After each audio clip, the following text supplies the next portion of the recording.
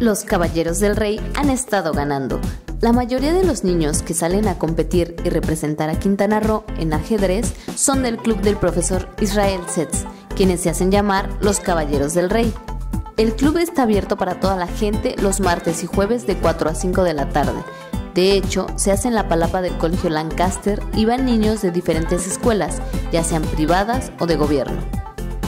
En esta ocasión, el profesor Setz presentó a los campeones de estas Olimpiadas Escolares 2015, Maya de Los Ángeles, Nicolás Solarte, Bruno García, Arlette Monroy y también estuvo presente Antú Delgado, niño que se le invitó porque hace dos años fue a representar a México como selección mexicana de ajedrez, obteniendo para México el cuarto lugar. Las edades de los niños oscilan entre los 10 y 11 años.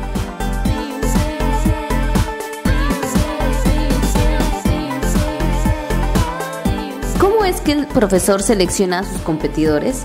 El maestro selecciona por invitación. Si ve un niño maloso, inquieto, travieso e inteligente, es una buena combinación. Primero los, selecciono por invitación. O sea, invito, yo si veo un niño travieso, inquieto, maloso e inteligente, esa es una combinación.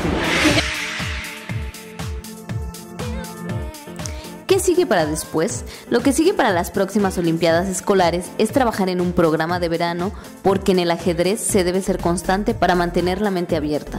Los niños invierten una hora practicando y en ocasiones más tiempo. Su próxima participación sería hasta noviembre. El profesor Israel Setz también mencionó que el entrenamiento con sus niños conlleva una especie de camino donde se les debe motivar. Él considera que el ajedrez le ha abierto nuevas oportunidades por ejemplo, en este año el profesor podrá trabajar con bebés de un año y medio a dos. Esto se puede checar en el Facebook Caballeros del Rey. Ahí podrán obtener más información.